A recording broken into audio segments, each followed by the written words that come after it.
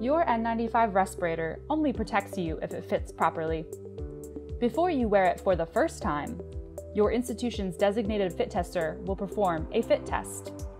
After that, a user seal check must be performed each time you put on an N95 to check that it is donned correctly. You can check the seal of your N95 with a positive or negative pressure test.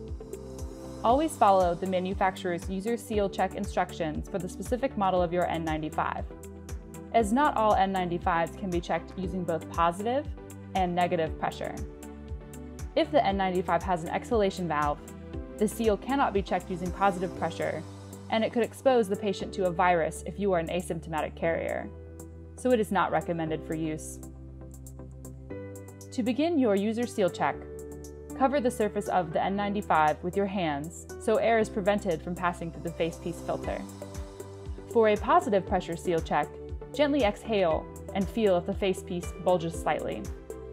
If you do not feel the facepiece bulge a little, the respirator may not fit properly. For a negative pressure seal check, cover as much of the facepiece filter with your hands as possible, quickly inhale, and feel if the facepiece collapses slightly. If the facepiece does not collapse, the respirator may not fit properly. During the positive and negative pressure tests, if you can feel air moving through the seal across your face or eyes, then readjust the fit of your respirator and check the seal again.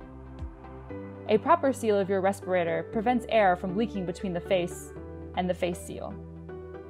If you cannot achieve a proper seal, you are not protected and should not enter a hazardous area.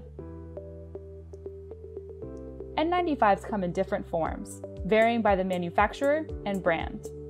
All N95s are tested and certified by the National Institute of Occupational Safety and Health and filter at least 95% of airborne particles, but are not resistant to oil.